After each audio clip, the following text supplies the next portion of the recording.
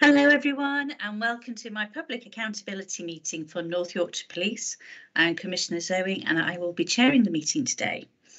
So turning to our agenda, um, attendance and apologies. So I don't believe we have any so far.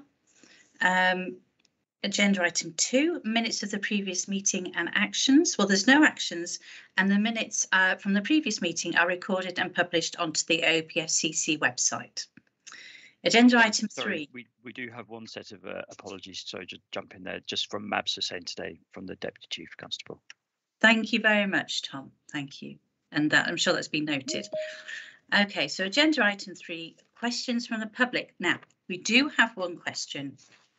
So I think it will um, appear on the screen in one moment and I'll read it out. Okay, so the question is from Mr. White in Wickley and it's about speeding motorists. Our community is plagued with speeding motorists. The only enforcement we have is the occasional visits from the camera safety van. At most one or maybe two hours a month. Some months we have no visits. We have been fed suggestions that fixed speed cameras will be deployed in the county. What progress is there with this? When will the first fixed speed cameras be deployed? Please can my village be included in any pilot initiatives? If none have been yet deployed, what is preventing them being used? Thank you. So I'm going to hand over to Tom in my office to answer that question, please. Yep, certainly, Zoe. Thank you. So um, uh, currently, North Yorkshire has a has a policy um, in, under which we we don't uh, deploy um, fixed speed cameras. Uh, instead, we use uh, our safety camera vans, which are deployed across the um, the, the, county and the city uh, to uh, enforce speed limits. Um, we have uh, been working towards um, a, a, speed um, uh, enforcement review um, uh, as a partnership approach to looking at the way in which um, uh, road safety is is carried out uh, as a whole, um, but in particular in the way in which um, we look to to enforce um, speed limits uh, across the area. Uh, part of that, um, which has been ongoing over the last year, has been um, a real partnership approach. First of all, around a new road safety strategy, which looks at the approach to road safety as a whole. Um, uh, and then, secondly, uh, in terms of discussions around developing um, terms for for uh, a review of the way in which we approach this, which would obviously have to take into account the way that we look at um, uh, speed safety concerns, uh, as well as then what enforcement measures are put in place. Um, of course, this is this isn't you know it's a, it's a complex uh, space uh, and actually some factors of our area make it even more complicated. Um, it's not just a case of uh, deciding one day that we we can do these things and and and implementing the next. We have to look at the infrastructure requirements uh, and obviously in a rural county that can be quite difficult uh, at times um, uh, but we also need to look at what the best approach is um, across the area. Um, so we are approaching uh, a point at which we can um, uh, look to publish a terms of reference for uh, conducting uh, our review. Uh, and we would obviously look for a, a strategic partner to, to help us um, do that independently. and that will look at all options um, use of fixed speed cameras, average speed cameras, uh, safety camera vans, as we currently do, uh, and and other methods. Um, uh, and uh, then we would look at how uh, whatever came out of that review would be uh, implemented. So unfortunately, it is not um, a, a, a, a, quick process. Um, but it is a robust process that we're going through, and we are looking at this very carefully. we hope that you the the review would be complete within um, the next six months. Uh, after which we can start planning for for whatever comes next. Um, but that obviously ha- we, we have to see how that that pans out and what the, that review uh, produces. Great, thank you very much, Tom, and thanks, Mr. White, for your question. So agenda item four, and that's the North Yorkshire Police presentation, and that's been, going to be done. And welcome to uh, Leanne, Fran and John. So welcome to the meeting. I think I'm going to hand over to Leanne first, so over to you. You're just on You're mute. On. Thank you, Commissioner. I will just put up the presentation and then Fran is going to start and then John and then myself. Okay.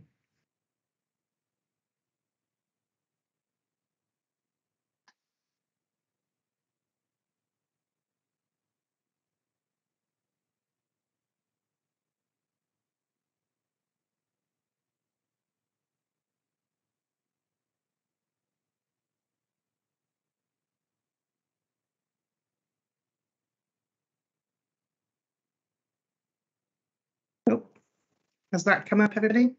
Yeah, It has, Yeah. yes. Yes. Okay, so we'll just, uh, we'll go straight, straight into the investigations part, if that's all right. Thank you. Uh, good afternoon, everybody. I'm Fran Norton, the the Detective Superintendent in North Yorkshire Police, and one of my roles is to be in charge of the investigations and the quality and standard of, of investigations.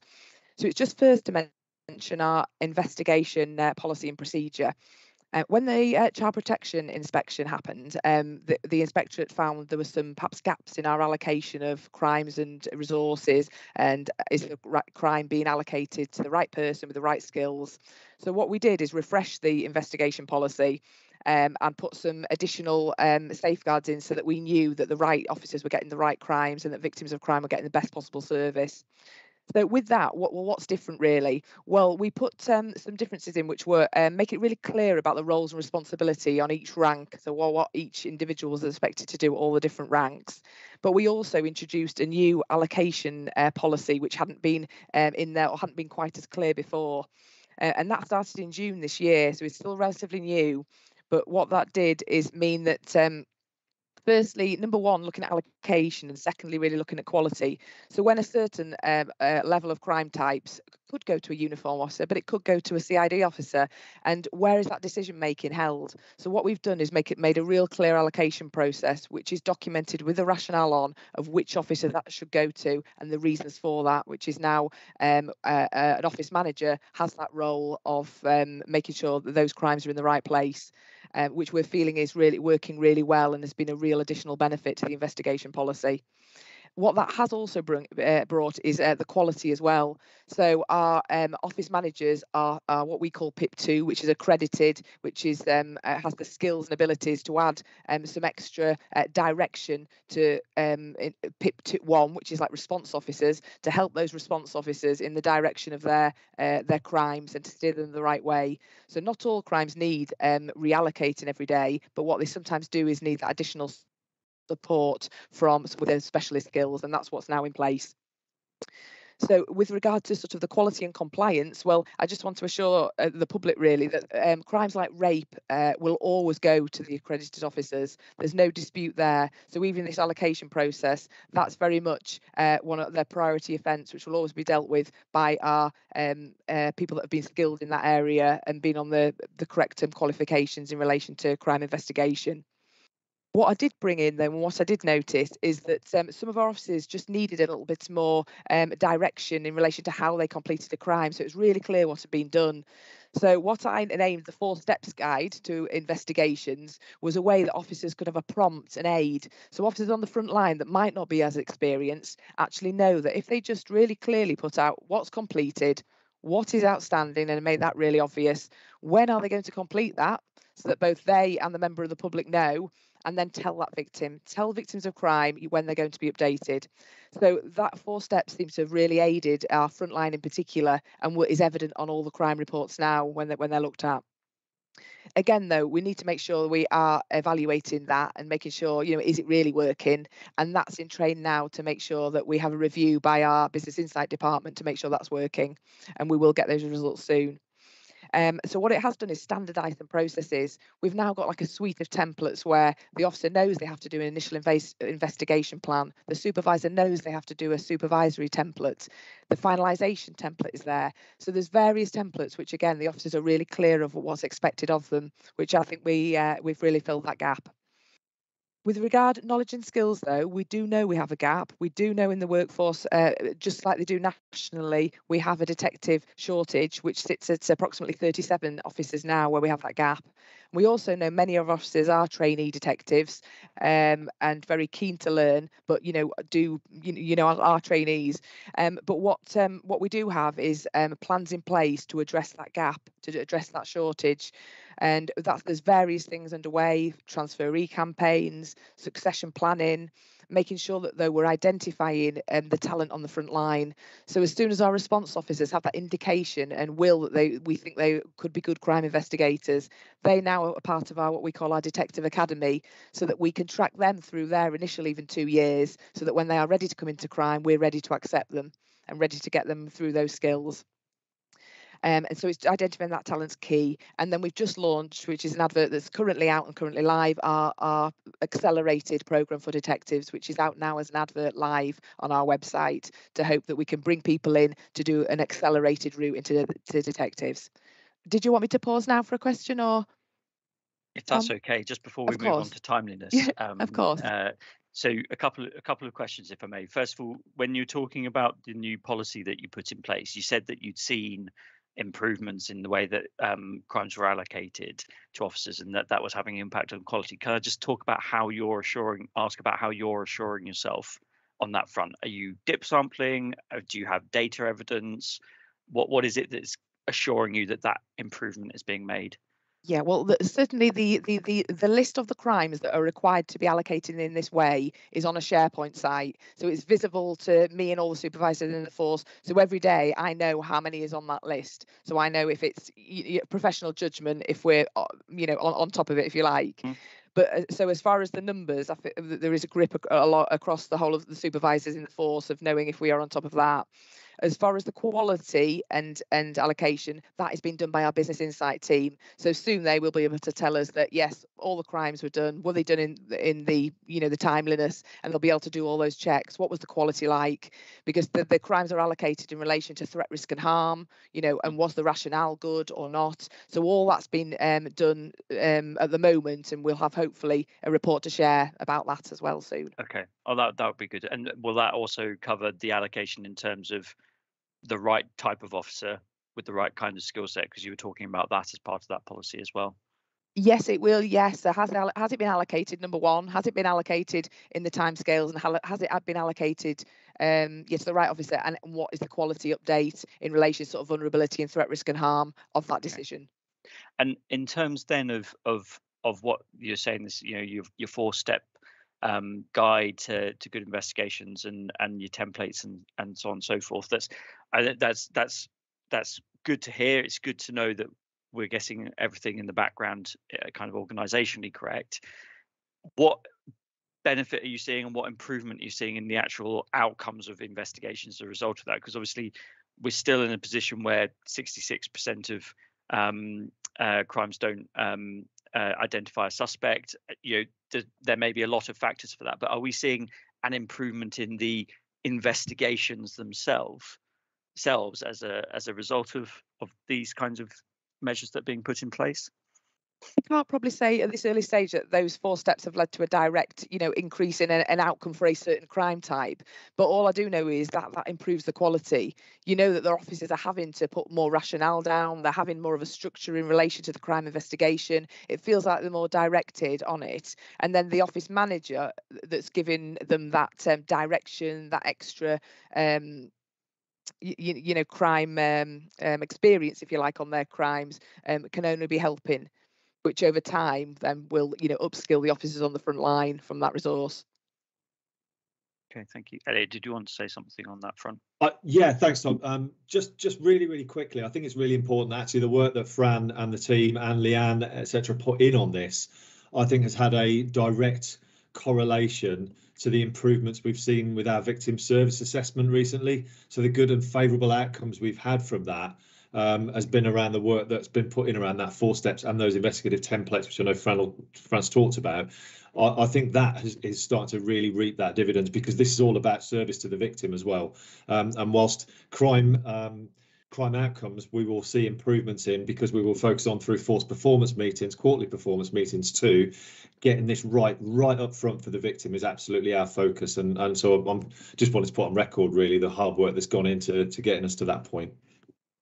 Thank, thanks, Elliot. I, I guess aligned with that, then, if if if that if you feeling that that improvement is being made, it's fantastic. It's being made for the the the victim, and it's great that we're getting things down properly. Do you feel that you're also moving in a direction where um, you would be able to prosecute more based on the evidence that you that you are now gathering, as opposed to necessarily needing victim support? Um, so that you could uh, take more evidence evidential prosecutions forward. I think I think our officers understand evidence-led prosecutions. So if they have sufficient to go for an evidence-led prosecution, I do think they are really tuned into that. Okay. Um, so and it's just making sure that you know every opportunity to do that they continue to. But they are, you know, they, they understand what an evidence-led prosecution is and, and how to get to that and uh, build that evidence in relation to that. But again, again, Tom, I think as Fran, the point Fran was making there around, um, uh, you know, I've just made around engagement with that victim and keeping the victim up, updated and informed, hopefully prevents us from that victim attrition in the first place and having to go down that evidence-led prosecution bit by making sure we're cocooning the victims with with the support they need as well. So um, it's it's not a um, it's not silver bullet, but it's really really started to pay dividends for us and build a, a really good foundation. Thank you.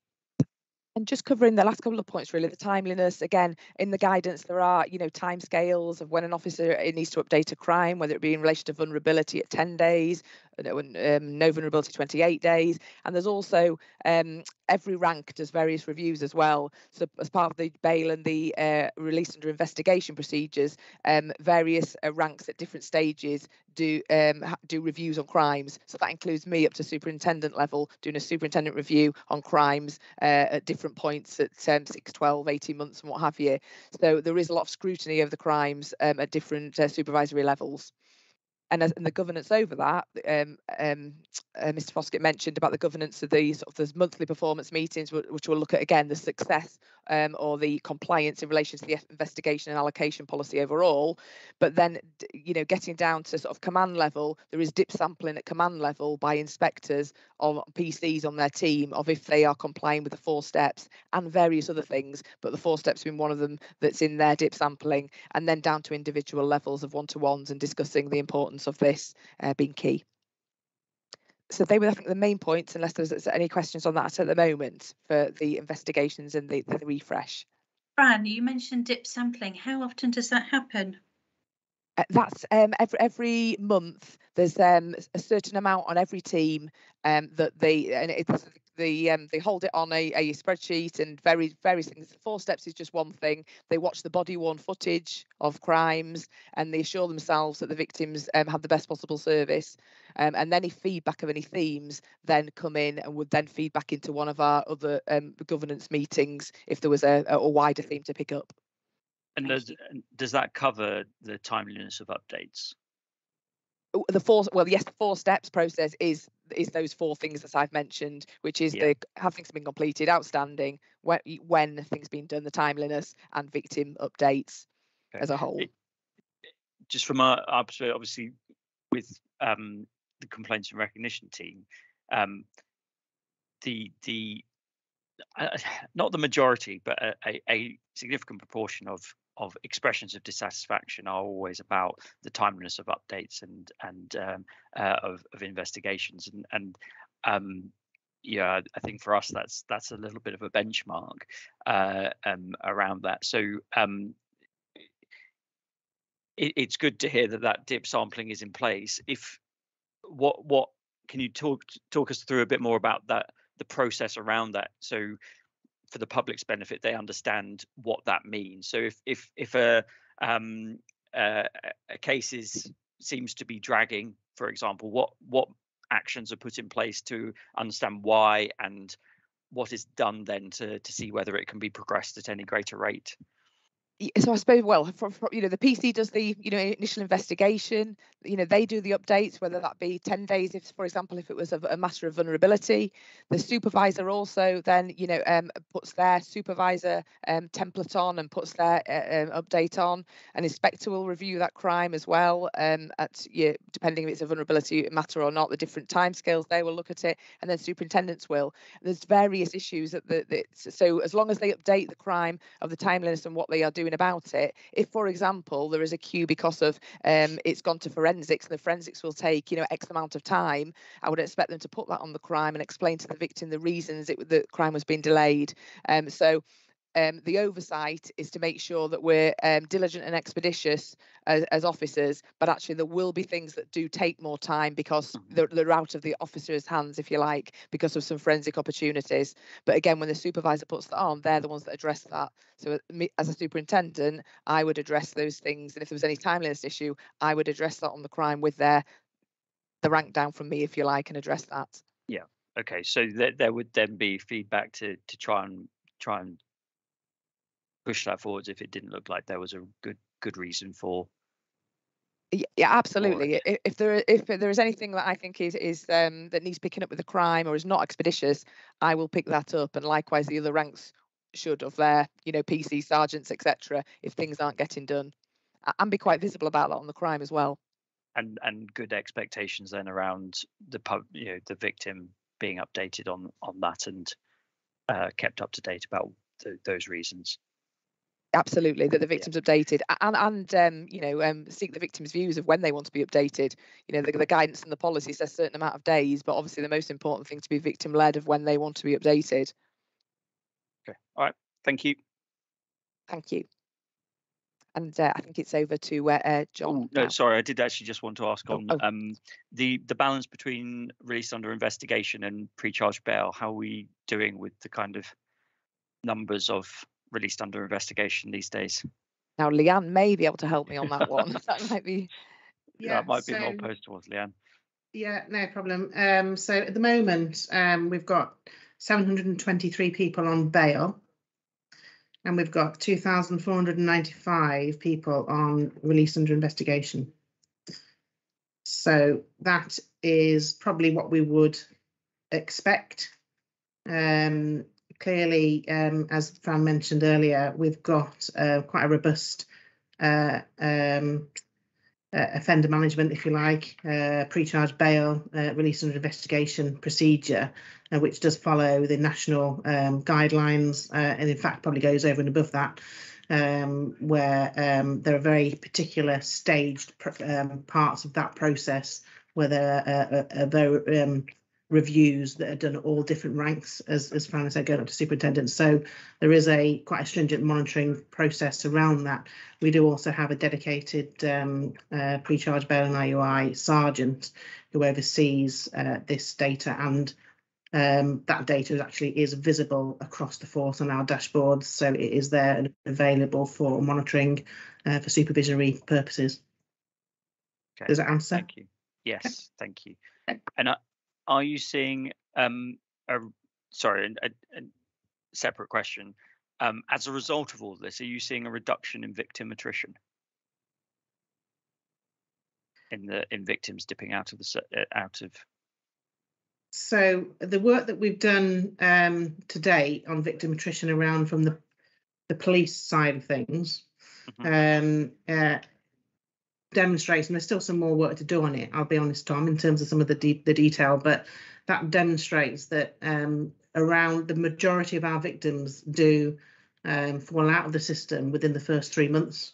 Yeah. So um, obviously, with some of those investigations that are, are released under investigation, go on for a lot longer because we might have direct forensic opportunities, etc. Um, uh, that doesn't prove to be, it doesn't seem to be a major factor um, in um, in attrition.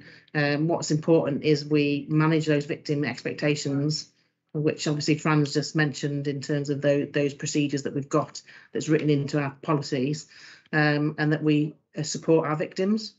Um, and uh, Mr. Foskett mentioned obviously around our uh, VSA earlier, um, where you know there are some very favourable outcomes that are coming from that. So you know there are very varied, uh, varied and many reasons um, for victim attrition, as, as you'll probably know. No, no, yeah. Um, but um, our, uh, if you like, we, we frame our policies and processes to make sure that the victim is at the forefront of that in all of them. So we can help pick up uh, those support processes and manage those expectations as we go along. So perhaps worth us dipping back and and understanding in three or six months' time whether the good results coming through on the uh, um, the VSA is is actually resulting in a in a Of reduction course. in those. Yeah, um, and we, we are doing uh, quite a bit of work around the uh, the data around attrition. So I'm sure that will be a journey that we will continue to track, but right the way through the system as well. Yeah, so uh, including the criminal justice part of it. But it's it's good to hear that those steps are being put in place right early on because obviously if it is zero, you know in the first three months then then that's the important point at which we need to to focus. So it's great that those steps are being put in place. Thank you. Okay, shall I go on to the next slide for John now? Okay. Thank you, Leanne. Yes, that's moving on. Seem to be, seem to be frozen. for a minute. There we go. Yeah, thank you. Thanks, Leanne. Uh, good afternoon, Commissioner. Good afternoon, everybody. Uh, I'm John Norton, Temporary Superintendent. Currently, um, one of my roles is being head of the Digital Forensics Unit here at North Yorkshire Police. Um, got quite a bit to go through, um, and I think I'll just start by explaining what UKAS ISO 17025 accredited actually means. Um, UKAS is a United Kingdom accreditation service. It's a government appointed accreditation service for um, for, for, for us and um, various other bodies. Uh, ISO, that's the, I've got to read this because it's backwards, International Organisation for Standardisation, um, 17025. Basically what that means, it's a, a laboratory standard accreditation that any work that's conducted in our DFU could be replicated in any other accredited lab anywhere in the world and come with the same result. Um, because of that, that that's where the integrity and the standard of the um, evidence that we provide is. To maintain that accreditation is no mean feat. Um, UKAS attend four yearly and do a very detailed deep dive inspection of all our processes, all our procedures uh, within the digital forensics unit. Um, we had that inspection last year. We were successful. Uh, there was an action plan that came out as a result of it that was demanding, but we've met that and we now maintain that uh, what I've called here a kite mark um, of, of, assurance of standards. Um, they don't just do it every four years and walk away.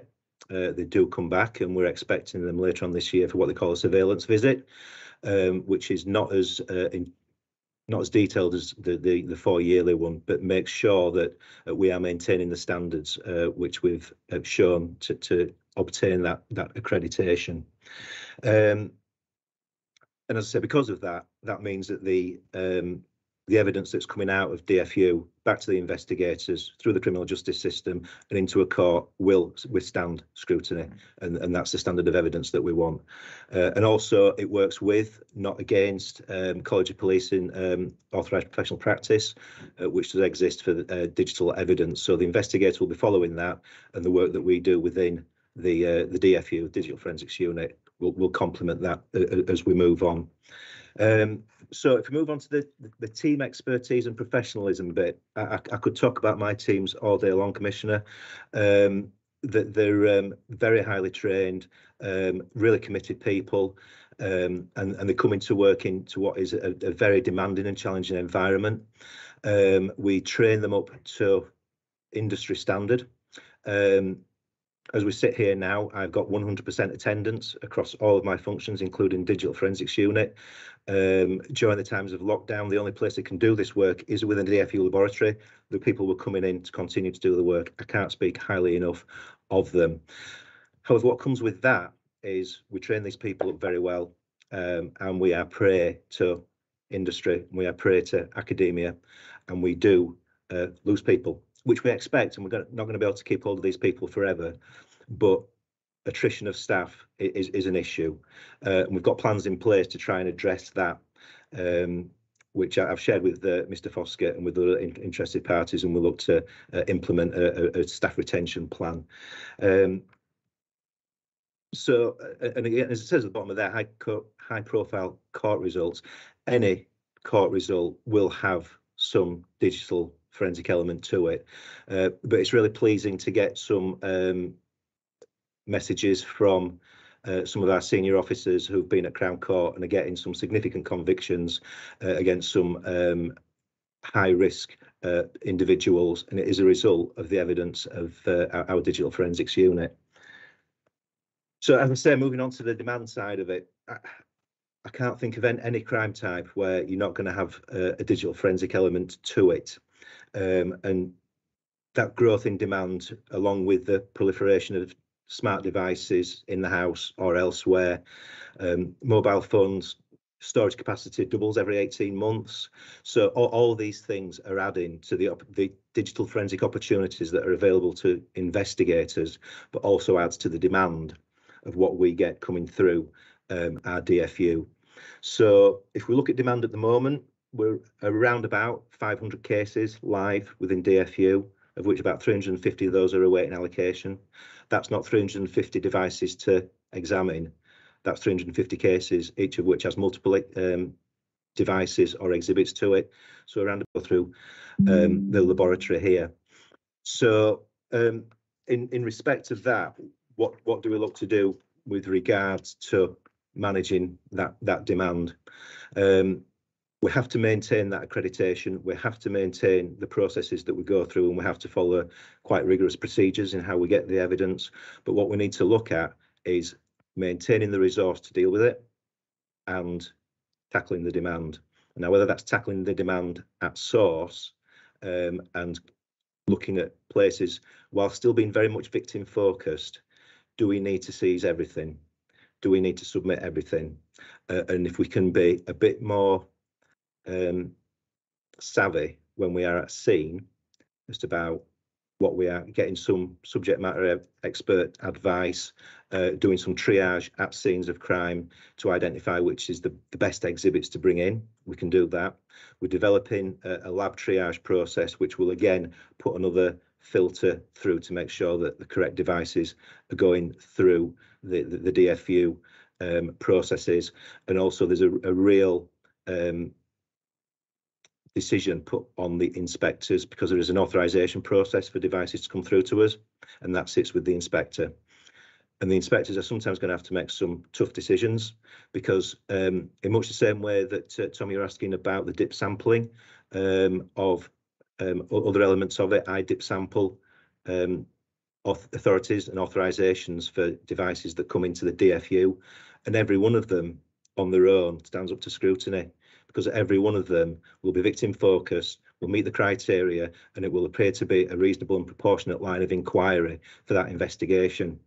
However, if you look broader and you look at the other competing demands and the other risks that are coming into DFU, they're going to have to ask some questions about whether this is the right way to go about dealing with this particular investigation, this particular individual, and there may be alternatives for for lower charges that end up with disruption intervention opportunities. But in a lot of cases, things are going to come through to us and, and we accept that. So um, just to give an indication, approximately 25% of all our demand is in relation to online abuse team um, and indecent images. That has to come through the DFU. There's, there's, there's, no, there's nowhere else for that to sit. But we do have other options available to us, uh, which include, I'm probably moving on to stuff that's on the, the, the next slide now, Leanne Rayla. Um, but we do have stuff that, that's coming through to us and options that are available um, that will take us uh, out to the scene to, to do the same standard of digital forensics work, but not within that, that UKAS accredited environment and provide um, the evidence and the exhibits um, to, to the investigators. Um, and, and, and also it's a quicker turnaround if we can do it at the scene and it keeps that, that victim on board. Um, I do realise I'm completely jumping around what you've got here in front of you and I hope that's fine, Commissioner. Um, but there's, there's so much that we've got going on here. John, John so, can I just just just quickly, just so that we get some context to this and and it's a bit easier. Um, could you just you say you've got about 1600 1700 devices at any time um, to to look at. On average, how long might it take you to look at a device? Well, if, if I come to cases, we get we get through about 50 cases a month. Okay, so I, I would say that probably equates to, and it's, it's just quick quick finger in the air maths, Tom, about 200.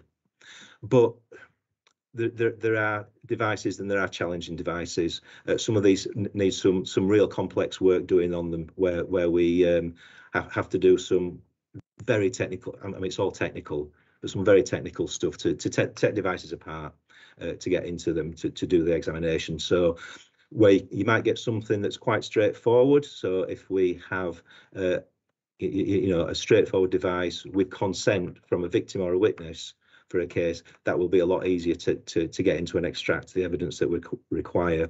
There are others that is far more complicated and, and, and more difficult than that. To support that, we've got a case management system in place that was launched earlier on this year, uh, in February, I believe it was. Um, and as that develops, and with the support of Business Insight, we'll be, get, be able to get a bit more sophisticated about assessing that demand, assessing where um, where, where we can make further improvements and seeing what the challenges are, and, and that will support us through um, both quality performance meetings and, and, and the various other places where I'm held to account for for the uh, the delivery of DFU. Just um, when we get to the top there, it, it says uh, mobile digital forensic platform. Mm. I'd just like to chat about that for a minute if I can. Um, Commissioner, you remember earlier on this year, you were kind enough to come to uh, headquarters and have a look around our van. You asked me a technical question that I couldn't answer, so I pointed you towards somebody else. Um, some time ago last year, uh, North Yorkshire Police were successful in bidding to uh, the Forensic Capability Network um, for some uh, hardware in support of um, tackling rape and serious sexual assault. Um, we got the equivalent of about 130 to 140,000 pounds worth of hardware uh, that you've sat in and you've seen. Um, and, and this is street triage and scene examination. And, and this is where we can primarily, it is there for rape and serious sexual offence victims. Um, we can, with um, in, speaking to the investigator, we can arrange to get to a victim in a discreet vehicle and we can conduct forensic examinations of a victim's device and give it back to him in a matter of hours, not days and not weeks, and certainly not months. This has put us in a really strong position because next April, um, what's called ADR 722, which is some data requirements that the Home Office require. Uh, and this is to support the uh, the Home Office pledge to victims that no adult victim of rape will be left without a mobile device for more than 24 hours without being offered a replacement. We're there already and we're doing that now. And we've got the measures in place, uh, we've got the kit in place, we've got the replacement devices in place, and we've got the processes and procedures in place, and we are doing it.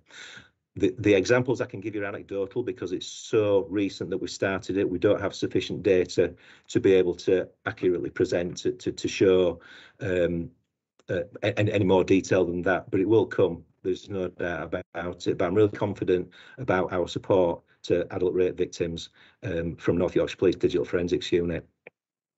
Um, some of the demand management work here that we've got going on, um, we, have talked about the backlog that we've got. Um, and alongside that backlog, we've got a service level agreement, and we're not making it as often as I'd like to.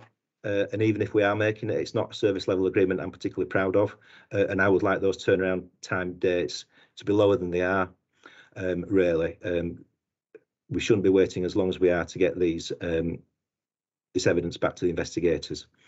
Um, so there is an action plan in place. Sorry, John. What what are you talking about at the moment? What, you know, what's your kind of type? Right, I was I was expecting that question. but, uh, the um, and the, the the longest that we've had that's been submitted to, to digital forensics for examination goes back to last May. Now we've got to look at public interest. Sorry, May 21. May 21. Yes, apologies.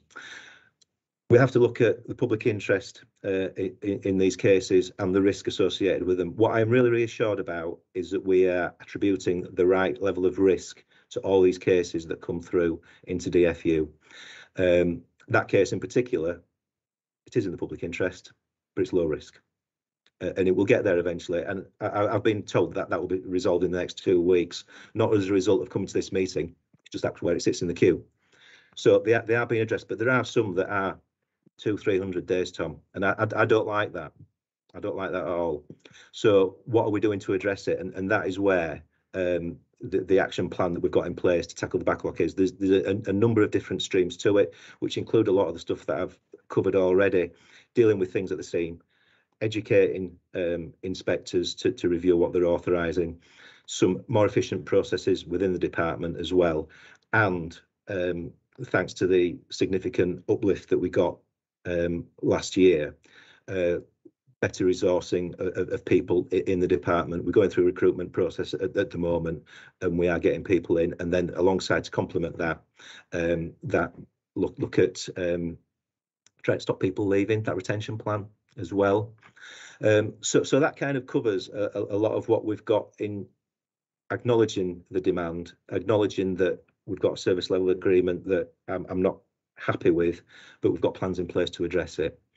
Uh, and, and finally, some of the technical solutions. This is it's a worldwide global industry. Is digital forensics. Uh, we work with um, companies um, all across the globe, um, and we do use and exploit state-of-the-art, cutting-edge digital forensic technology. Uh, within North Yorkshire Police, and we continue to do that. Um, we're always linking in with, I've already mentioned the, the Forensic Capabilities Network, uh, local and regional forums as well, um, and, and those people in the public and uh, private sector uh, that will provide those um, tools for us. Happy to take any questions from anybody. I feel like I've rattled through that a little bit. I guess. Oh, sorry, go on. Sorry. Well, no, no, no, Tom. Please, you go. I, I was I was just going to ask when, John. When, when do you think you might? What's your action plan timeline? Right. Well, we've got, as I said, we, we've if if we were to get to um, a full cohort of digital forensic examiners, and we, as I said, we've got interviews taking place in the next couple of weeks. That puts us in a place where we've got the resources that um, Business Insight, demand analysis told us that we need to meet the SLA. So when we're there, that means that we can start looking to tackle this backlog. Once we get to a position where we are, I think we're talking 12 months, if, if, if I'm honest. Um, once we get to a position where we are meeting that SLA, I will be commissioning Business Insight to come back in and do further demand analysis with a look to making sure that we're exploiting the resources that we've got to the best of our ability. And if that is the case, and we're still looking to improve that SLA, we'll look for further uplift. But before I can do that, I need to satisfy the chief, yourself, commissioner, that we're doing the best with the resources that we've got.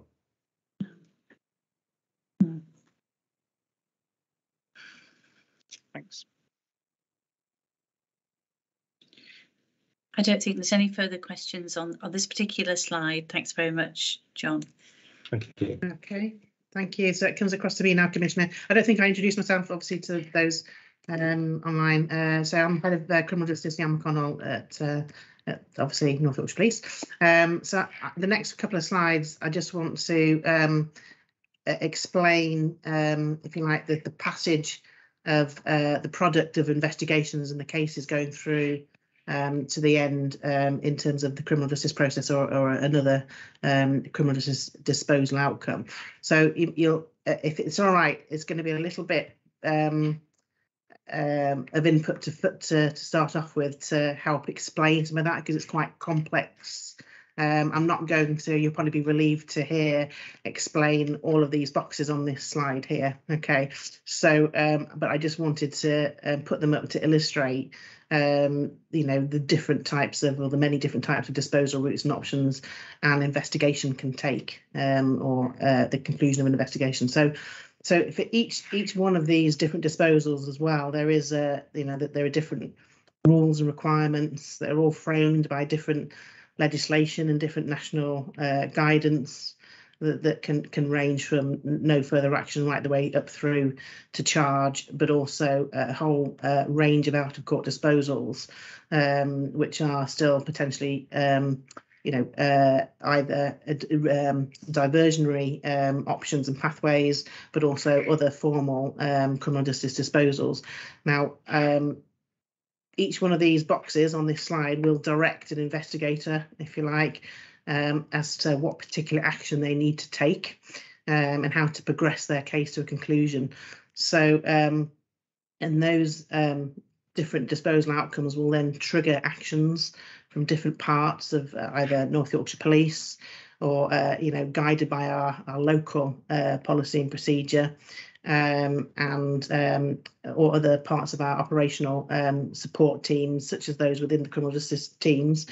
Um, and it will also, depending on the route, the pathway, engage um, uh, other uh, key stakeholders such as criminal justice partners, so i.e. The, the, Crown Prosecution Service or the Court Service or other partners um, who work together with us um, around that efficient and effective um, uh, case progression route. Um, so we don't have time to go into all of these. I'm not going to go into all of them, as I've said. I know earlier in the year you did have a comprehensive um, PAM um, on the out of court disposals. So I'm sure if, if people want to look back at some of that detail, that it, it's it's clearly on your website, Commissioner. Um, but I, I, just want to um, focus on those crime cases um, uh, that go into the court arena in terms of the, the case progression. Um, I won't touch upon those that potentially go into the court arena as a result of um, a, the single justice procedure route or specified cases, which is where the police um, process and prosecute directly um, uh, because that's probably a PAM in itself. So I'm not going to touch upon those either, unless you have any specific questions about that. But um, so the focus around the crime cases and the next few slides concern um, the, the principal public prosecuting body being the Crown Prosecution Service. Um, but in order um, to sort of understand which route uh, an officer has to think about um, when they sub submit a, a, a, case file, um, I just probably it would be helpful probably to just outline um, the category of criminal offences. Um, so just bear with me if, if that's okay. So the um, there, are, three main categories of criminal offences, if you like. Um, uh, all, all of them start off um, uh, in in the um, the uh, magistrates court, um, and then they flow from there. So there are summary only offences, which can only be heard um, in the magistrates court, which is the lower court, um, and um, the uh, essentially these these cases um, don't can't be heard.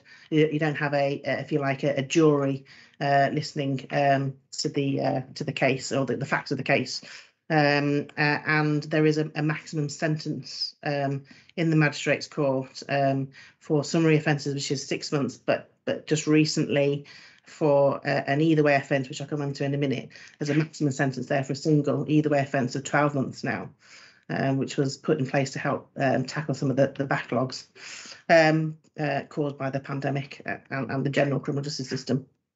So then moving on, we do then have indictable only offences, um, and they are the most serious offences, such as you, you, you know, you rape, you, you, murder, you robbery, that can only be heard in the Crown Court.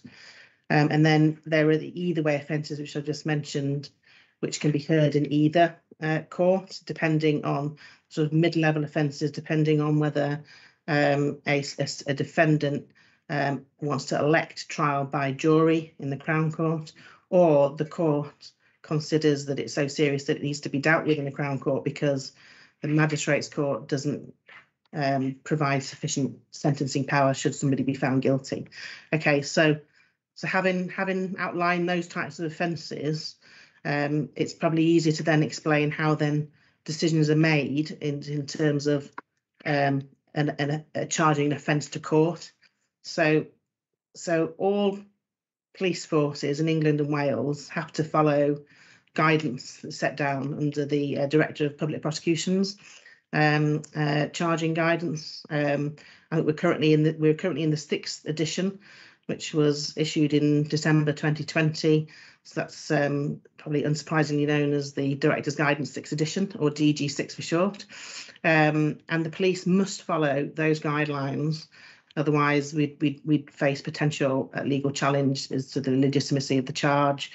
Um, uh, and if, if, if members of the public do want more information about that, the CPS website is a good source to explain and go into detail about that. But but the DG6 outlines a division of decision-making responsibility um, for those criminal offences between the police and the Crown Prosecution Service, um, and um, and also um, an officer has to consider um, whether a suspect during their investigation admits an offence or denies it um, and uh, and clearly in, in addition to whether there's enough evidence to submit um, a case in the first place. And they're all key considerations for the investigator in deciding how and where to send a case file or, or route a case file to. So um, so just to explain briefly, the division uh, of charging responsibility. So the police may charge offences um, without prior referral to the CPS for any summary offence um, only, irrespective of the plea. Um, they may charge also any offence of retail theft or shoplifting or attempted retail theft, irrespective of the plea, provided it is suitable for sentence in the magistrates court. And also any either way offence anticipated as a guilty plea suitable for sentence in the magistrates court.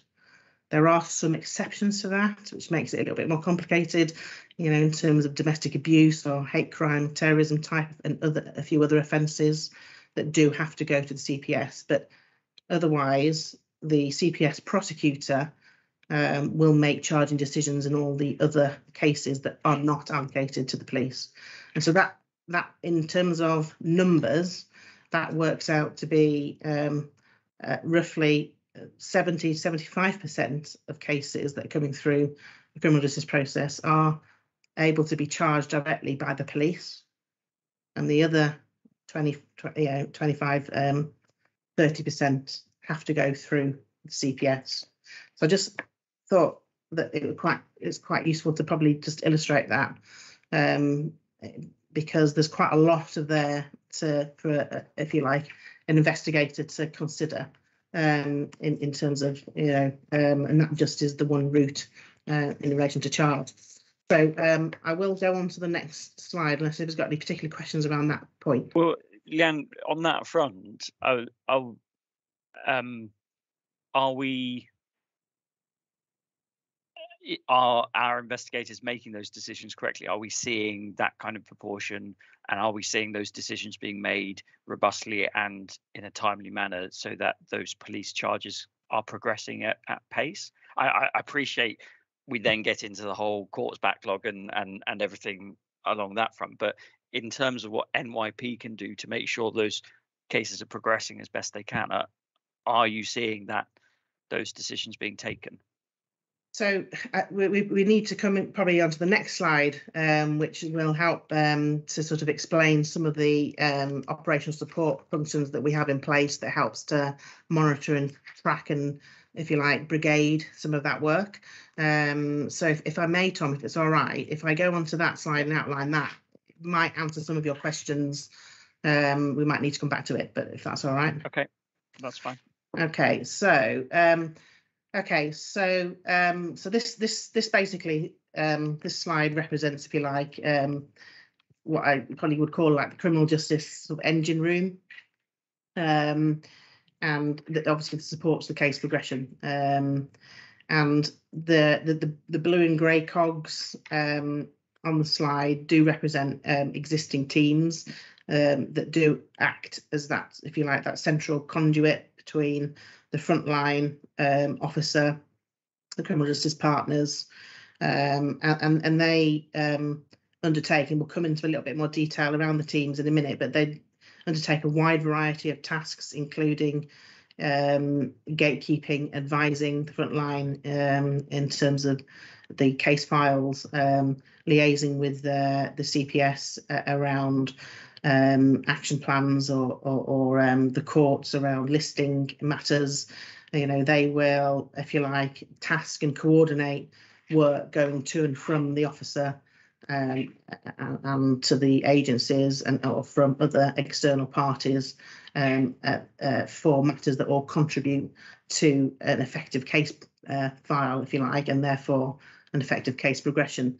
Um, so essentially at the moment, um, where um, those cases where the police have the, if you like, the the, the charging responsibility around decision making, um, the investigating officer will will directly charge a suspect to court, uh, and the method of charging can vary as well. So that can be done through our uh, through a postal charge or through our prosecution team.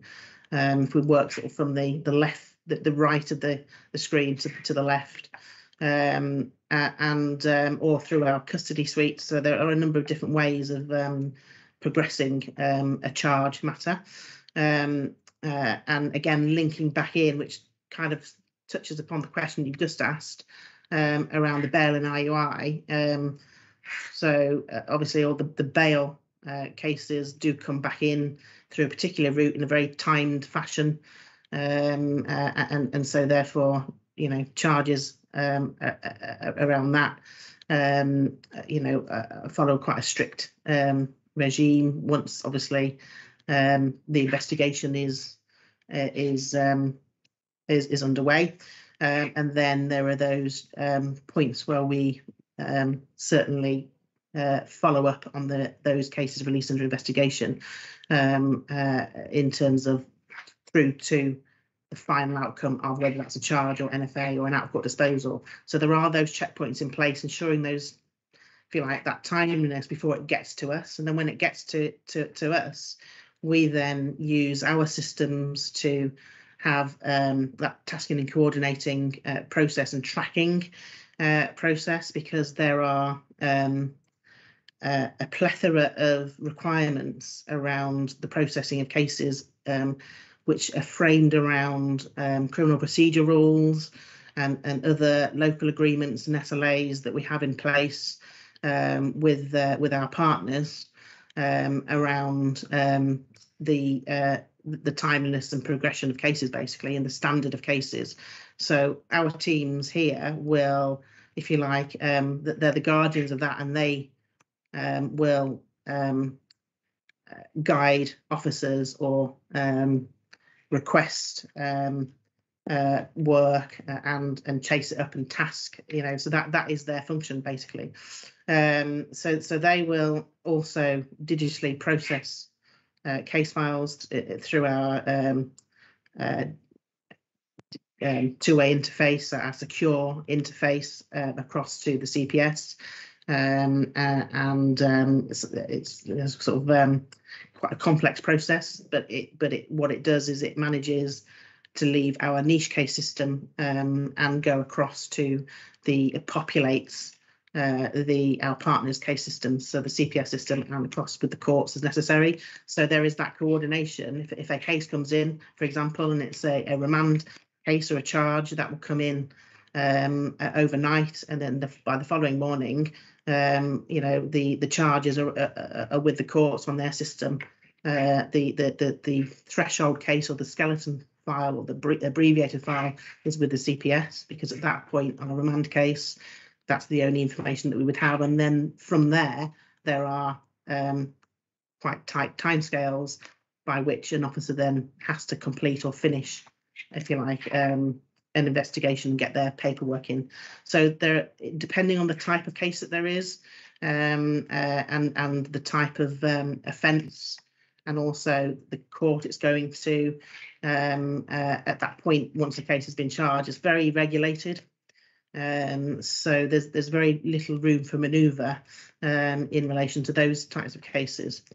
Okay, so um, and actually the the life cycle of that case can also change as well, depending on um, what happens um, to you know circumstances that might alter a plea for example. If if we've anticipated a guilty plea um, and it goes through to a first court hearing and it pleads guilty uh, then it, then it's dealt with um, more or less it goes off a sentence. But otherwise if it, if if the plea then changes or it it starts off as a an, a not guilty case and that triggers off a different set of circumstances in terms of how an officer has to build a case file.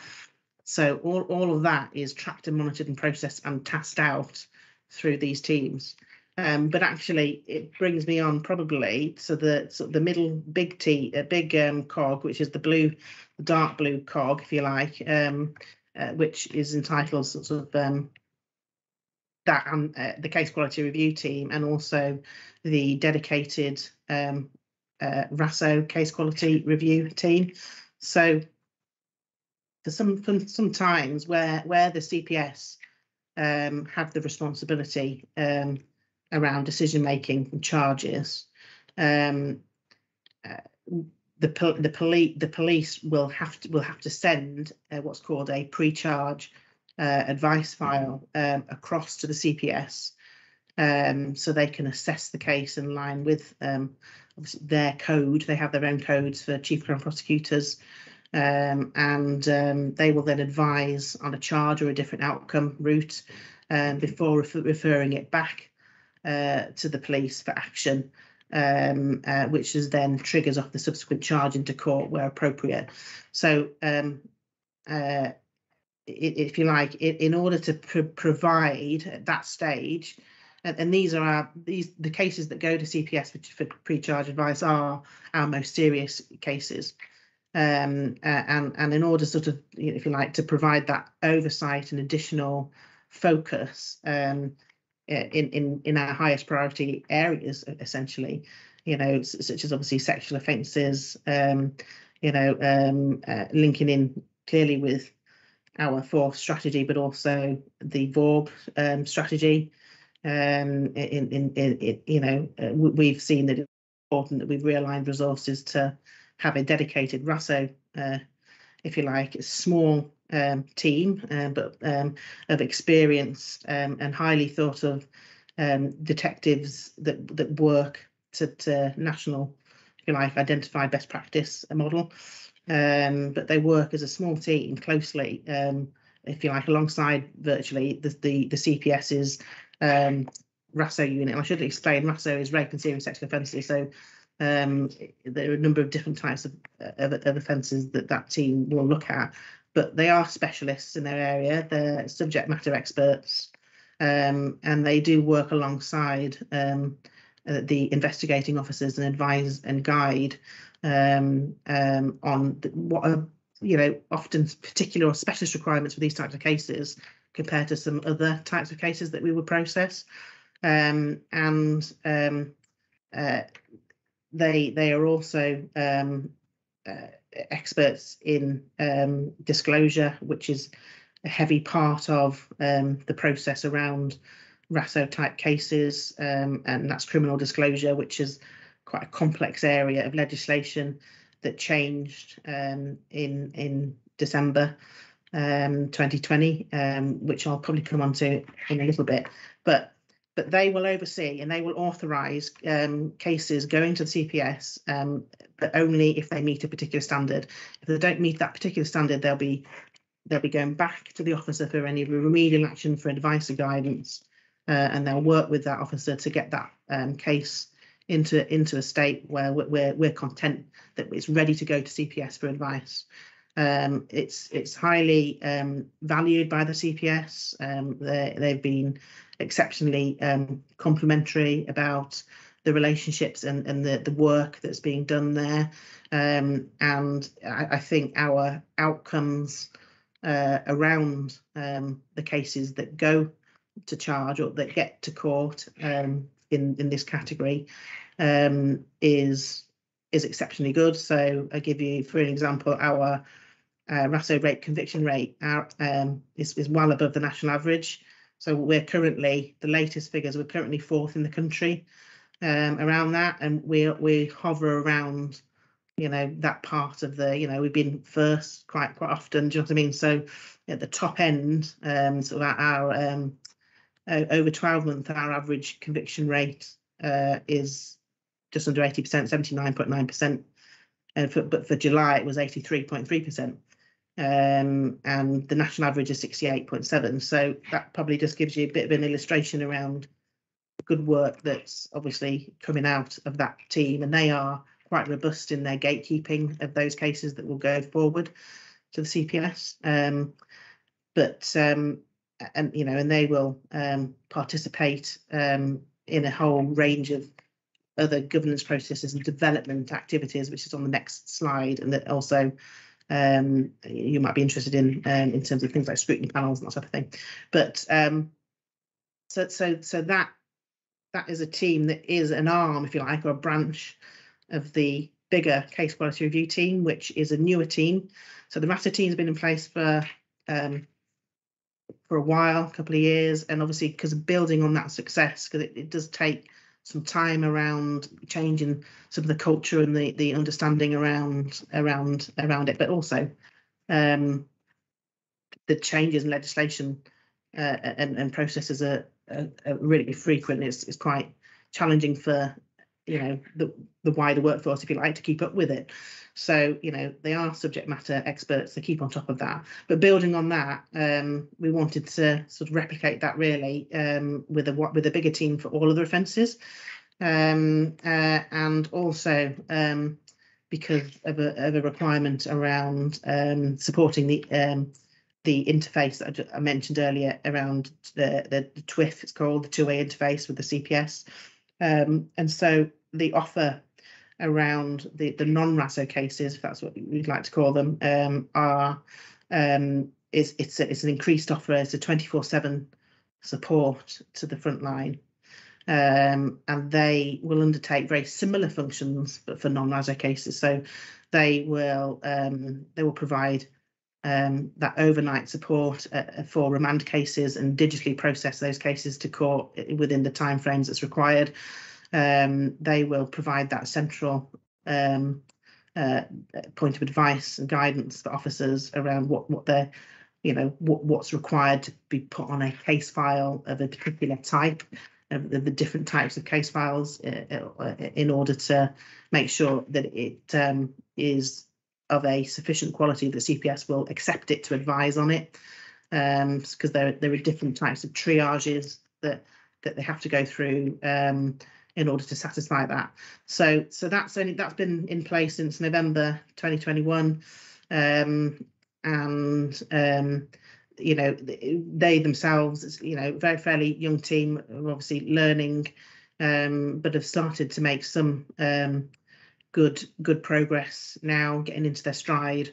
Um uh, and uh, and and you'll see probably on the on the next slide um just a little bit of performance in that area that bearing in mind it's it probably take long it take it will take longer as well because they're much more vast quantity of everything else other than the RASSO cases so in order to and they're dealing with a much wider part of the organization um, in terms of knowledge uh, and skills um, in, in in order to bring them, if you like, coach them up to the speed that that we that we need them to be in terms of our case file quality.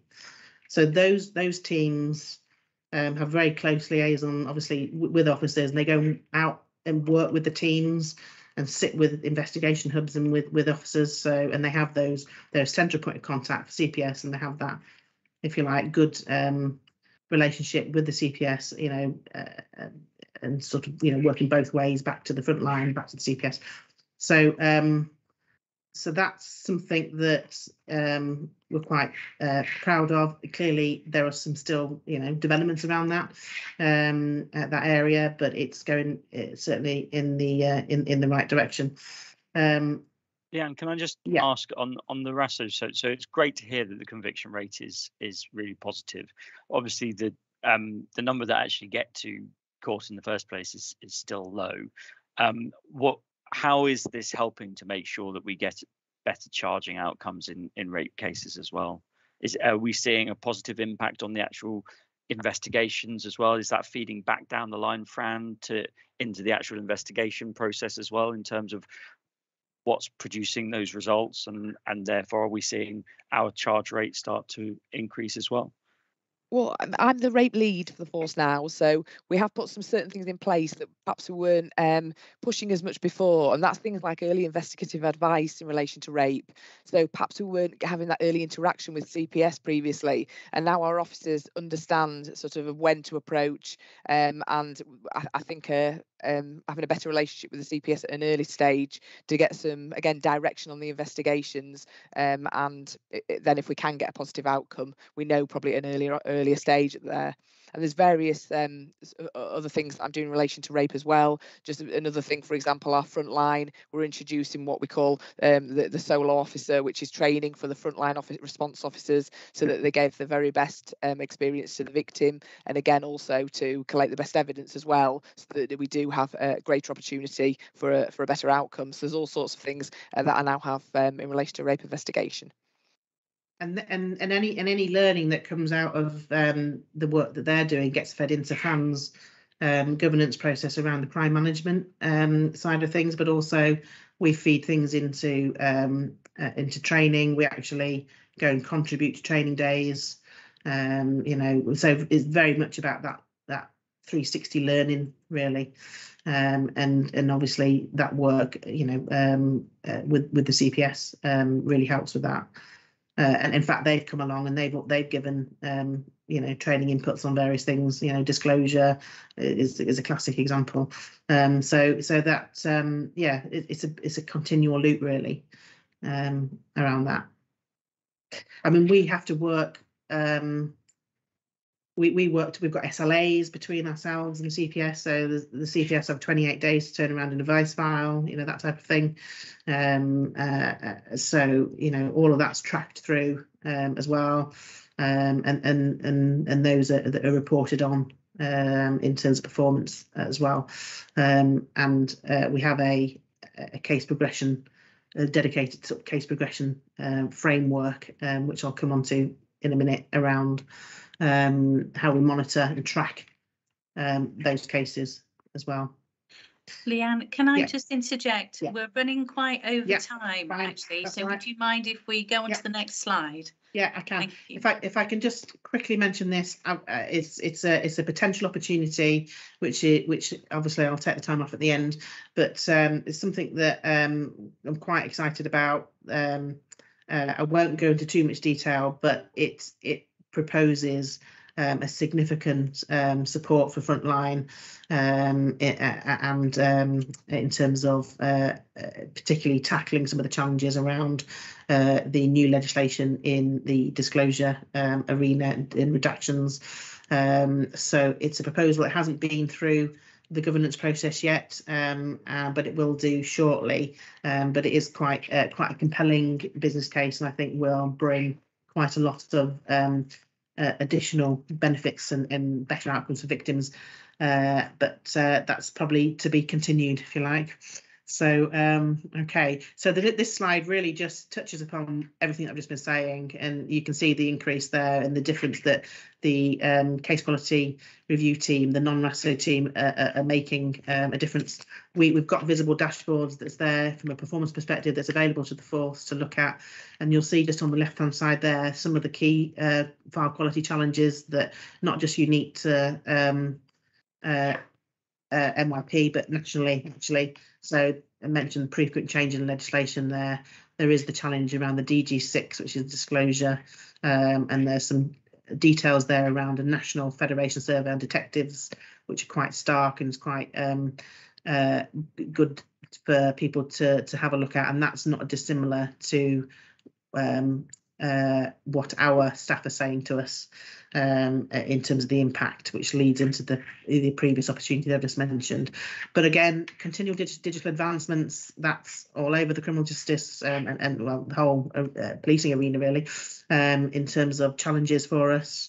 Um, and we do have quite an inexperienced workforce, and there are some details there, um, which um, obviously uh, lead us to keeping up those challenges around understanding the uh, requirements, if you like, for investigations and case file quality. So I'll skip across that if that's all right.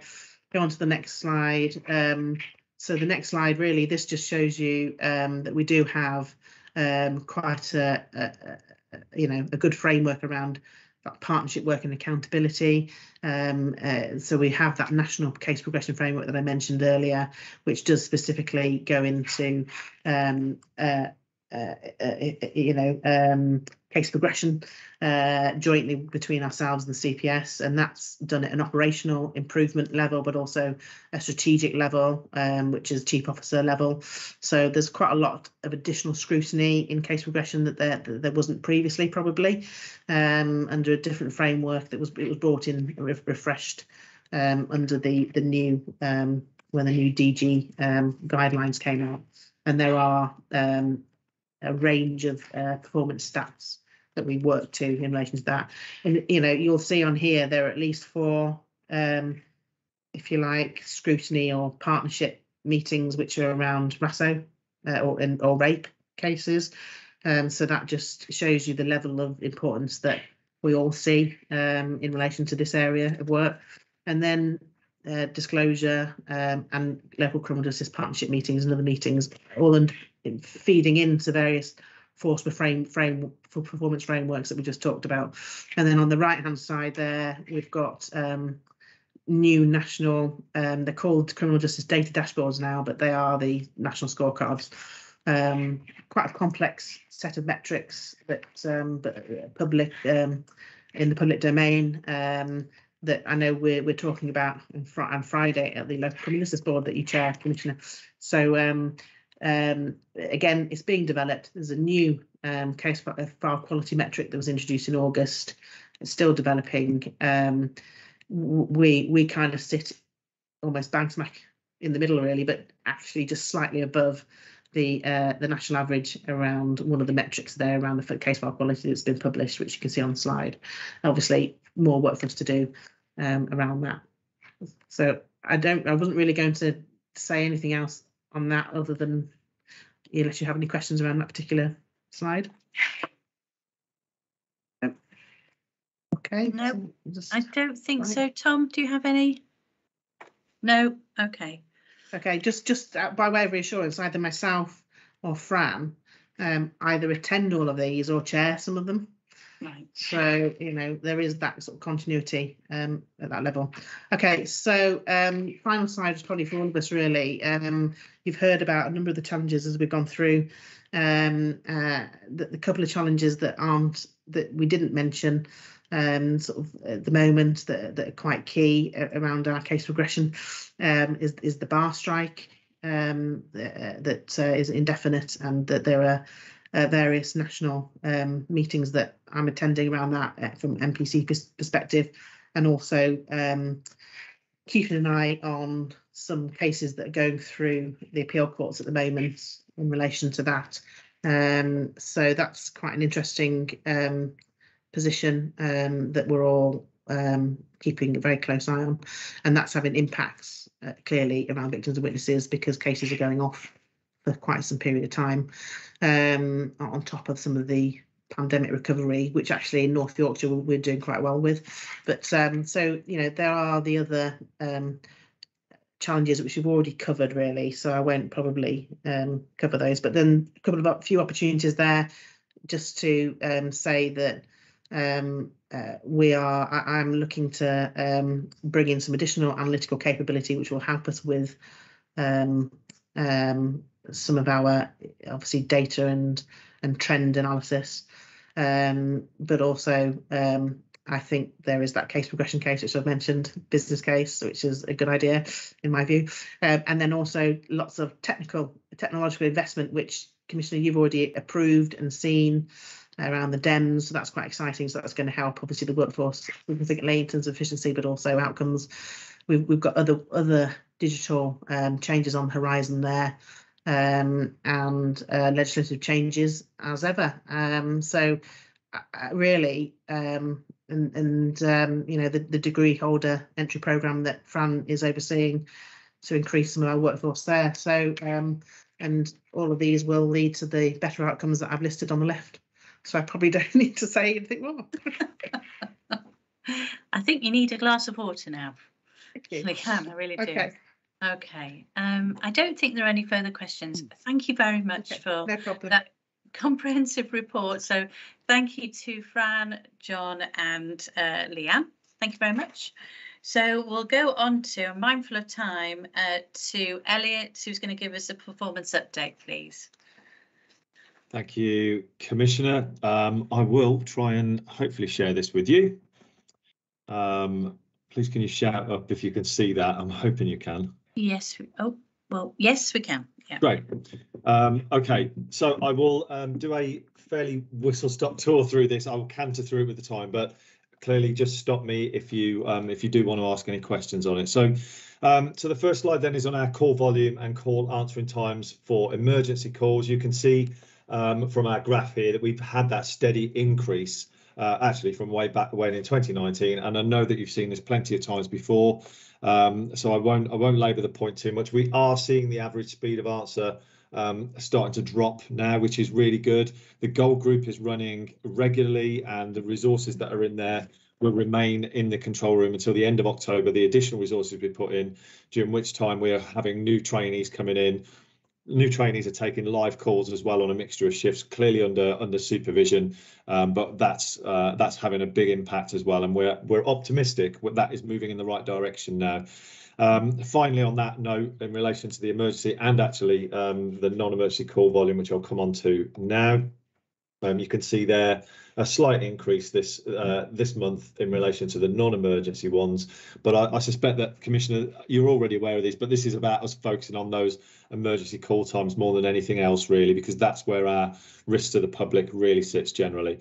Um, but but again, uh, just to let you know that there is a new um, management team in place, as you're aware, within the control room, and a new performance framework um, has now been put in place there as well to monitor that. Um, so as we move out of the summer period, we do start to see generally a, a, a, flattening of demand within the control room, and it should start to drop a little bit. Um, he says, touching wood and keeping fingers crossed because it is really important for us. But the nines continue to be where our focus lies. I'll pause there um, because those are the two around call handling. So I'll take any questions and answer as best I can. Tom, I can't, I can't see any, so please shout up. Tom, uh, do you want to come in on this? Oh, you're on mute.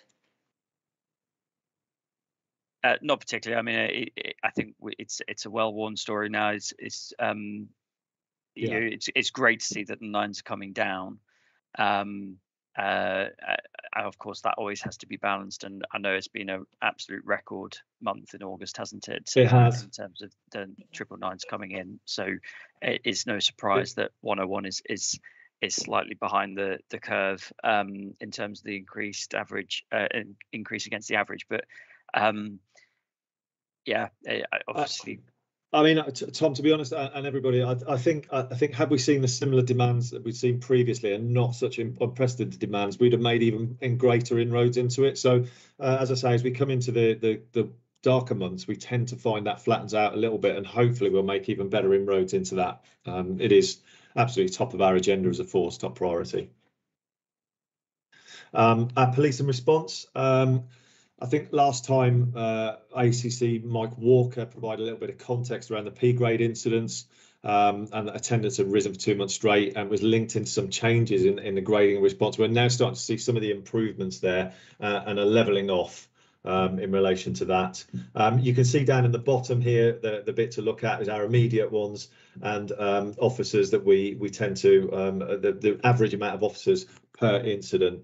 Um, and on our immediate ones, you can see um, clearly uh, ASB crime being the highest at 3.95 and then if you look down to the priority grades there's quite a quite significant drop. So we are sending the resources we need to to the immediate grades and to uh, uh, where they need to be um, when they're needed. So that's quite reassuring for me um, and that is part of the ongoing gold group for the force control room and the local policing uh, come on, coming on to uh, crime. Um, interestingly, it's still within. Uh, you can clearly see the dips that we we we've experienced here, um, and there's no, no surprises why. And we had a, a rise as it got to the summer last year, and and you can see that cyclical sort of dip and rise, dip and rise as we move through the summer months. I guess one of the things to point out is that violence against the person really has risen steadily over the past three years. It sits at the top of the list here. Um, and actually, when you start to delve into that a little bit deeper, the largest sections, which is no surprise, are assault with and without injury. They've had the largest rises and account for that that overall rise. Public order, um, again, has seen a, a, bit of a rise in that time, but interestingly, um, you can see that fraud crimes have decreased um, actually proportionately of the total crime count, but that's because they've everything else has gone up. They've sort of remained steady. Um, conversely, I guess we'll come on to um, to burglary in a second, but burglary crimes appear to be decreasing over the last three years, um, and the volume of burglary, residential burglary in particular, has gradually decreased, reaching a height of um, 236 in August 2019, and there were only 106 in in August this year. And, and I think that's that's absolutely you know that that is a couple of hundred fewer victims of burglary, um, which is which is fantastic to see. So um, we will, you know, we will keep our eye on that because as you can see from the next one, the next thing that we will be tackling and we're looking at through our neighbourhood crime um, and force performance meeting is our burglary resolved outcome rate. Uh, and there was a spotlight on neighbourhood crime at force performance last month. Um, uh, and the month before that was in relation to forensics and forensic opportunities. So we are um, really pushing uh, the resolution and detection of burglaries and, and burglary in particular. Robbery, um, I- I- you know, we've looked at the four-year trend around it. Um, so not just what you can see there. We wanted to understand what that spike was um, there uh, and what the higher thing was. Actually, um, when we looked at it, at that data, it actually sits in Harrogate um, really, um, and Scarborough and York based on the, the, the address, but there's nothing in there that we can say there was a pattern, there was a trend, there was a particular uh, offender, t- particular hotspots. We just saw really an unexplained rise. Um, it, it, so around that, I've recently commissioned a refreshed robbery and theft from person problem profile um, through through our force tasking. Uh, you know, just to try and understand what our, I mean, it is also worth bearing in mind if you look at the numbers here um, along the left axis, they're very low. Um, so we are talking just a few crimes can make a massive difference in that and what looks like a spike. But actually, our robberies um, across North Yorkshire, um, it, it, still remains really, really low compared to very, many other forces, uh, most of the forces, in fact. Violent crime I've already touched on. Um, we're starting to see that come down again now, and uh, we'd we'd hope to see that drop even further as we approach the winter months too.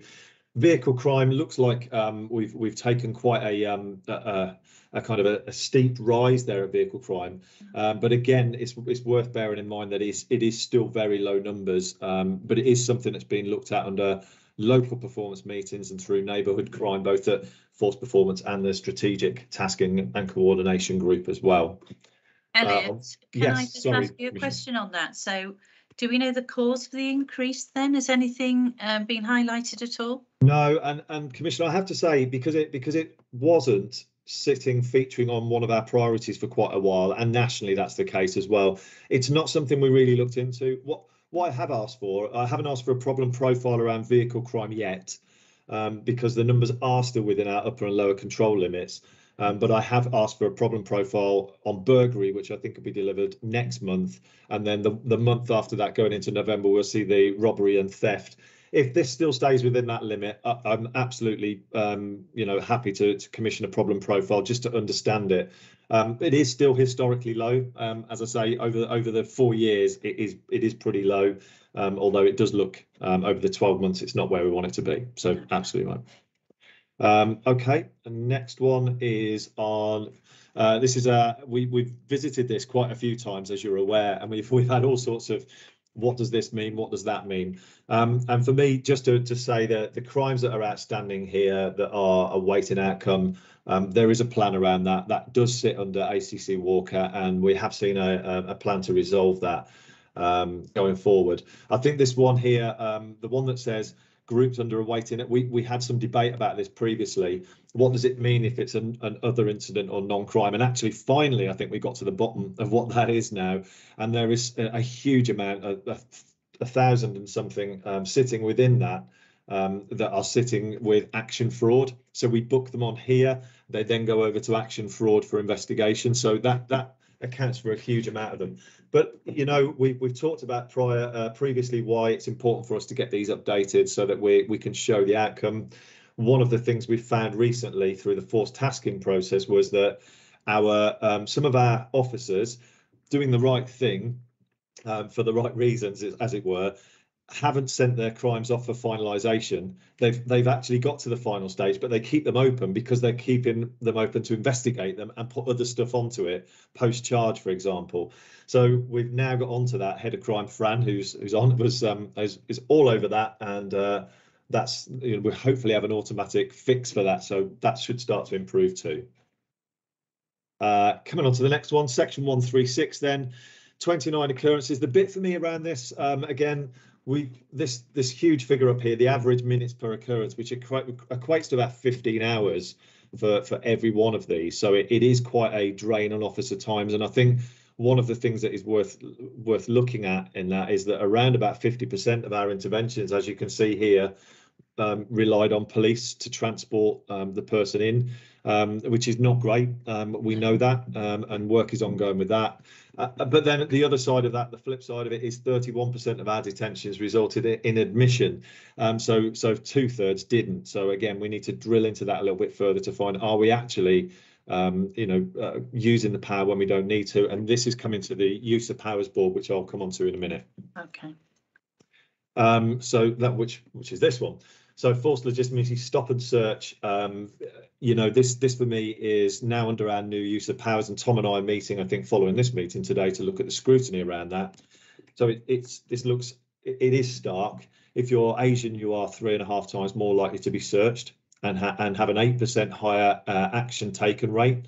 Um, so whilst we've got good scrutiny in um, place and we've got that use of powers meeting, the use of powers meeting enables us to dig a lot deeper into that now. So an action from that meeting, for example, is to ensure that the intelligence that we've got doesn't become self-serving. So we then start looking for, we, we produce intelligence, we says we need to target here. We then stop and search more young black men, for example, which generates even more intelligence, which goes into the system, which then comes out about young black men in that area. So that's part of the action I've tasked um, under that group to review those stop searches to ensure that we are aligned where we are doing stop and search to our control strategy priorities and linked to our priority that. Um, the stop search leads also tasked a review of all stop and searches from the Craven and Skipton area. So they're going to be additional scrutiny on that. That'll come back to the board. And then I've also, um, I'm going to task out a separate piece of work around disproportionality. If I draw your attention to the bottom of the page, the final comment hypothesizes that the higher positive outcome rate supports the view that this is intelligence led. So I want to ensure that that's the case and that actually it's not disproportional uh, disproportionality in how we apply the action. So are you more likely to have positive action taken against you, for example, if you are from a, a, minority ethnic background? So if the former is the case, that will feed into my intelligence thing that I talked about. And if the latter is the case, we'll pick it up under that uh, use of powers meeting, as we were with the other ones, such as body worn video, taser, use of force, uh, and other coercive powers. Sorry, this is such a canter through, but I am aware of the time, um, so I'll, I'll, pause there for questions on those. Okay. Uh, no, finally, positive to hear that you're doing that work around that. that yeah, Tommy, it's really, really important. It, it, I think for me, there's there's lots of meetings going on, lots of stuff being looked at, but having that force level oversight and governance to have that great de great degree of scrutiny. And we'll obviously we'll talk about the um, external scrutiny on that panel after this as well. So, yeah. um, so just coming on to workforce then. We know that our target FTE is 1645, um, and actually we're about to get to 1641 headcount with the September intake. So we are well on track. Our actual headcount um, by the end of the month with September as well, um, rather than FTE will be 1660. So we are where we we need to be. So um, that's good news, and I'll come on to that in a second. Just touching on workforce diversity, that's not where we want it to be. We know that, and we've talked about that recently around what we're doing and the action we've got. Um, you know, so what I have asked for as well, I know it's been called up upon before, is this bit at the bottom here to be split out into police officers and police staff as well. So that will that will come next time. But in the interim, I do have the figures which I'll quickly run through. So police officers and ethnicity, 2.6 per, um, 2% are identified from a, an ethnic minority heritage with a further 1% not stated. For police staff, that drops to 1.6%. And uh, you may recall John McFall a couple of months ago said he believed that that would be the case and wanted that split out, which is why we've done it.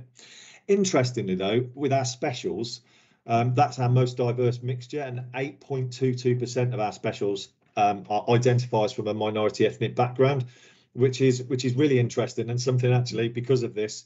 We've got our positive action team and our recruitment team talking to our specials um, to see whether they'd like to join us as well. You know, it, it's it really surprised me. A further nearly three percent of specials actually not stated as well. Gender wise, for police officers, it's a 37% versus 63% male. Um, that's roughly where the, the, the line is nationally as well. So we're not out of kilter, but again, with 50% of the population being women, we, that's not where we'd want to be. Police staff, 62% women and 38% men. And specials is our lowest, actually, 30% um, women and 70% men. Uh, so I'll pause. I know that was a whistle stop tour of that. Is there any questions on that one? I don't think so. Okay. Um, workforce again then, so really quickly, the campaign for new applicants is still live, closes on the 30th, and we've got a number of applicants progressing um, and a further intake planned in January. Um, that's for police officers, uh, PCSOs, which is on the next slide. You can see we are we are going to achieve our uplift target. PCSOs, again, still not where we want to be on that. Our next intake starts this month. Uh, and the campaign for new applicants is still live, closed on the 30th of September. So, and we've got a number of applicants already in that, progressing through the assessment process. A further intake planned on 20, uh, 2023, um, uh, January 23. So we hopefully start to see those um, come up. Um, I think the other thing I'd like to, I know it's been touched around the DHET programme. we've got a new positive action team in, in place, as you're aware, Commissioner. And yesterday they went to a careers fair where they mix with a really diverse mix of people. So they're not saying it's definitely because of them, but overnight we had 18 applications yesterday um, overnight, and they talked to to scores of people yesterday. They're going to be making contact with everybody personally to try and encourage them through. So that's really positive, and that's already starting to pay dividends. Yeah, that is Um, sickness, then final slide. Um, I guess I think the main thing about the sickness is, as you can see, we would we are anticipating as we get towards November, December, we'll probably see a rise in uh, cold and flu. Uh, as we normally do at this time this time of year, it's pretty static. It's risen slightly over the course of the year, um, but everybody's back in the workplace again now. Um, so we probably anticipate a slight rise going into the winter months, and that's about it for me. Sorry, that was such a really a quick canter through it, but there we go. Okay, well, thank you very much, Elliot. Um, I am conscious of time too, uh, so thanks for cantering through that. Um, so going on to the agenda, so uh, agenda item six, questions from the public. There are no further questions. Uh, agenda item seven, any other business? No uh, any other business. Um, so it just leaves agenda item eight, date of the next meeting, which is the 20th of October. So many thanks to everybody who's taken part. Um, we have, I have a special thank you to say to Tom Thorpe, who works in my office. It's his last meeting with us today. I'd like to say to Tom, you know, thank you very much for your time doing all these PAM meetings, your great scrutiny questions, very much appreciated. We shall miss you very much. Okay, many thanks Absolute everyone pleasure. for watching. Thank you. Thank you. Bye.